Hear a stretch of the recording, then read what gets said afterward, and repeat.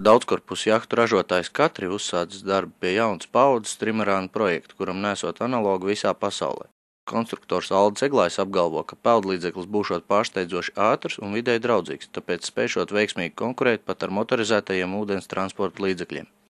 Jahtu tirgus ir liels, Nu, Viss pasaules jahtu tirgus viņa vērtē apmēram kaut kur uz 10 miljardiem dolāru. Un ir šī tirgu ir ātrāko jahtu sektors, kur mēs varam ieņemt līderpozīcijas.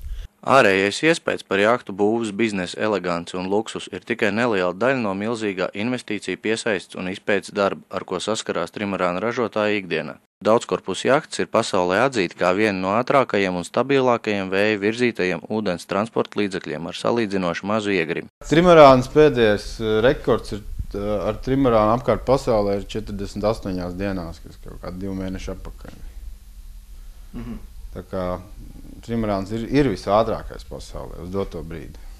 Būtisks faktors, kas Latvijas trimarānu būvētājiem liek cerēt uz jaunās daudzkorpusu jahtas un turpmāko modifikāciju panākumiem, ir pasaulē izsīkstošie naftas resursi un to sadārdzināšanās. Pēc Alda Eglāja domām pieaugot ar alternatīvo enerģiju darbināmo transporta līdzekļu popularitātei, kā arī attīstoties tehnoloģijām, katrī trimarānam ir lielisks izredzes iekarot savu vietu tirgu, izkonkurējot motorlaivus un kuterus. Jahtai enerģijas, enerģija vējš, un tas ir pieejams jebkurā vietā, cik nu katrā vietā tā vēja ir. Ja tā ir motorlaiva, viņam ir tomēr jāuzpild degviela, un tāpēc tāliem braucieniem, teiksim, okeāna šķērsošanai, Eh, motorlaivas praktiski neizmanto. Jahtas tur iet ļoti daudz. Visos tālos jūras ceļojumos dodas eh, burā.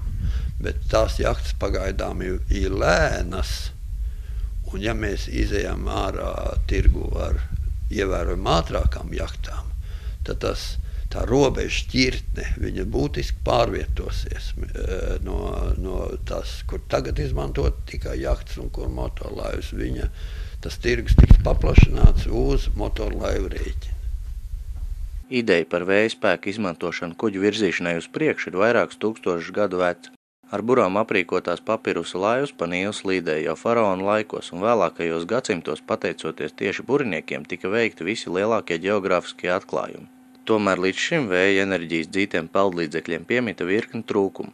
Proti, ar burām aprīkotie kuģi bija daudz lēnāki, mazāk stabili un pārāk atkarīgi no laika apstākļiem. Tāpēc mēs viņu izvēlamies, jo tā var būt eh, viena no vispieprasītākajām.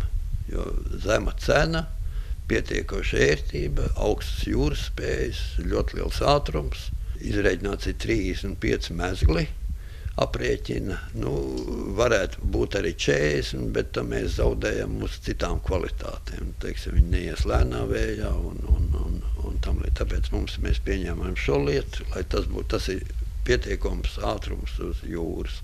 Trimarāna projektētājs ir pārliecināts, ka, lai veidotu jaunu, konkurētspējīgāku jahtu industriju, ir jāīstenot būtiski priekšnosacījumi. Pirmais ir osta vajadzīga, jo tām jachtām, ko mēs izstrādājam, ir mazliet citi stāvēšanas eh, veids nekā tas ir tradicionālām. Tā kā vajag ostas. Nākamais, ja mēs izstrādājam jaunu jahtu, tas nozīmē, ka viņai ir vajadzīga tālāka izpēta, viņam jāsaglabā ļoti ciešas saites ar zinātni. To mēs visu laiku esam praktizējuši, un tā ir mūsu stiprā puse.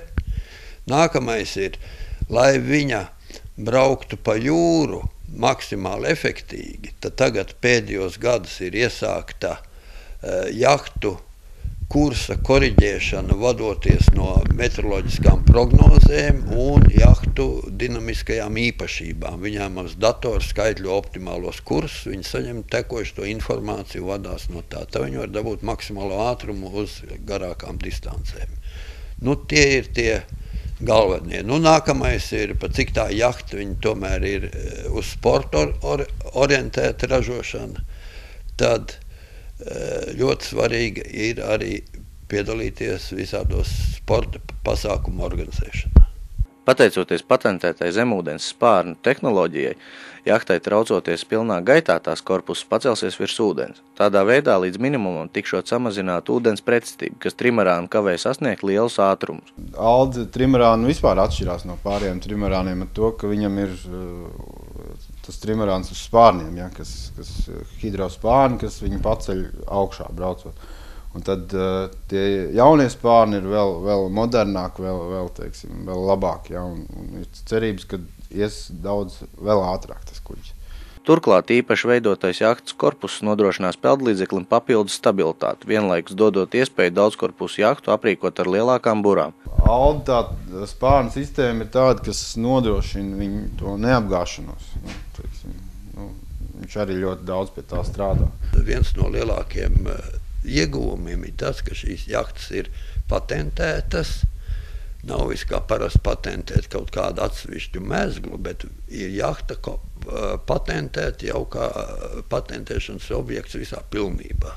Tas nozīmē, ka viņa tiek pilnībā aizsargāta tirgu. Un uz vidus patentu laiku citas neviens nav tiesīgs izmantot. Tas nozīmē, tie, kas viņu būvē, iegūst monopolu visā pasaulē, šī ātrāko jahtu sektorā.